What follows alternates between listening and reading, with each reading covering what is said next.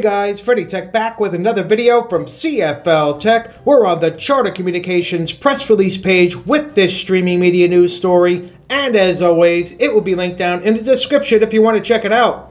So we have some new information here and it looks good for Spectrum customers. So it's saying here, enjoying Spectrum's seamless entertainment now even easier with enhanced digital self-service features. So what is this all about? So here are some key takeaways from this new information. Now it's saying new online tools allow customers to upgrade already included streaming services to ad-free and add apps a la carte to internet only plans. So you have that option now with internet only plans, which is really nice to see. Now, key takeaways here are Spectrum's seamless entertainment combines the live TV plus the most popular streaming services at no extra cost. Now, we know they've been doing this for a little while now with the add on apps at no additional cost, which is something nice that you have now as far as additional services, streaming add ons.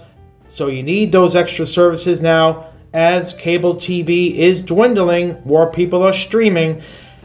It's never been easier for customers to stream without commercial interruption or to add streaming apps to their Spectrum internet plan. Number three here, customers can now upgrade and add streaming apps via the My Spectrum app or spectrum.net. So you have those two options there. So here's the read. If you want to check this out, we'll link it down below. So as you can see here now with all of the apps that are now being made available at no additional cost to Spectrum TV customers, you have AMC Plus. Those are with ads now, of course. Disney Plus, Basic, HBO Max Basic with ads, Paramount Plus Essential, VIX Premium with ads, and Peacock Premium with ads. With more apps coming soon, including Hulu with ads, and ESPN's forthcoming streaming service, a retail streaming value of more than $100 per month. For Spectrum Internet only customers, this marks the first time a digital self service option has been available to add streaming services to their Spectrum account. So that's really nice to see that the internet only customers now are included with this new addition here. Some more flexibility now, they have to do this stuff because the cable TV, typical traditional packages are losing customers. Cord cutting continues, so these options now with the streaming apps seem to be helping somewhat. But we just did a video recently on Charter Spectrum how they continue to lose TV and internet customers. This is helping a little bit. It would probably actually be worse than it has been for the losses if they did not do this a while back, several months back, probably since the beginning of the year. So they are doing this now, actually a little longer. They had that Disney dispute last year, and they got the apps now added as bonus apps because of that deal they struck with Disney. But now they have struck deals with other platform owners. But they have to do this. So here's some more points here. My Spectrum app, you have the online way to do it, a la carte app. So we'll link this down below.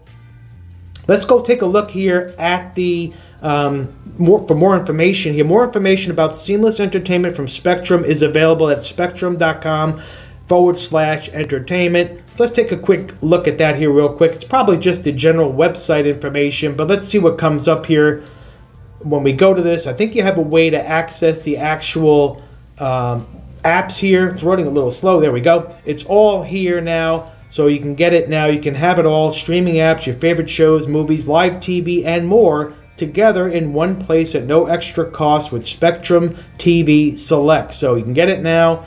Pick your plan. So we'll link this down below as well. Here's some FAQs, but what are your thoughts on this new way to access your information for your apps and upgrade? Are you looking to upgrade? Also, you're only paying the difference for the with ads versus the no ads for any one of these streaming services. So that's kind of nice. So it's three to ten dollars more per month on average across all apps per app if you want to pay for the no ads version, which is really nice that they're doing it that way. So, what are your thoughts on this? Are you taking advantage of this? Hopefully, this helped you out if you are a Spectrum TV customer. Now, of course, we're covering Spectrum because now you have streaming involved with cable TV packages. It's all kind of integrating now because they have to do this to try to keep customers. Cable TV linear channels are dwindling. That's why you're seeing Warner Brothers Discovery split into two different companies. They're kind of keeping the stuff separately because they have different directions with the streaming versus linear cable TV.